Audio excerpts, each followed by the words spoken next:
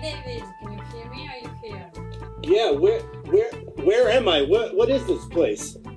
Hi David. Oh, hi. Hello, I'm David Nussbaum. I'm the founder, inventor, and CEO of Proto. And here I am. I'm stuck inside of one of our miniature devices called the Proto M. The Proto M has two primary use cases pre recorded holographic content and also real time holographic communication, low latency, point to point, bi directional communication like you're actually there, except you're in a hologram. Right now, the Proto M is primarily geared towards enterprise customers, whether that be for a CEO communicating uh, across the world or a uh, retail brand showing off their product and will eventually have a home device. Uh, you can do your fitness and your beauty.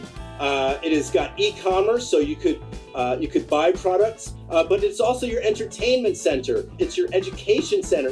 One of the core principles that we've designed this product under is ease of use. I can stand in front of uh, any 4K camera or any iPhone with a light source, and I could be captured and then beamed through our proprietary uh, cloud platform in real time. Uh, right now, I'm standing in front of a white background. In the upcoming weeks, those uh, backgrounds won't be necessary anymore. People who beam in not only can see the person they're being beamed in front of, but they could be beamed into multiple locations simultaneously. Recently, we sent one of the most famous uh, artists, Sean Combs, Diddy, from his home in Los Angeles, we beamed him into multiple locations at the exact same time. He was having real time communications with his fans who he never would have been able to see otherwise if it wasn't for Proto. We also have recently sent stand up comedians from different locations into comedy clubs around the world. If you can't be there, you can beam there.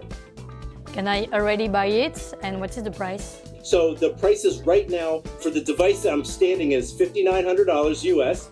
We're only doing a run of about 2,000 units this year. The barrier to entry right now is cost for the home market. So uh, eventually we hope to uh, maybe slim down the feature sets and reduce um, underlying hardware costs. Thank you very much, David. It was so nice to be here.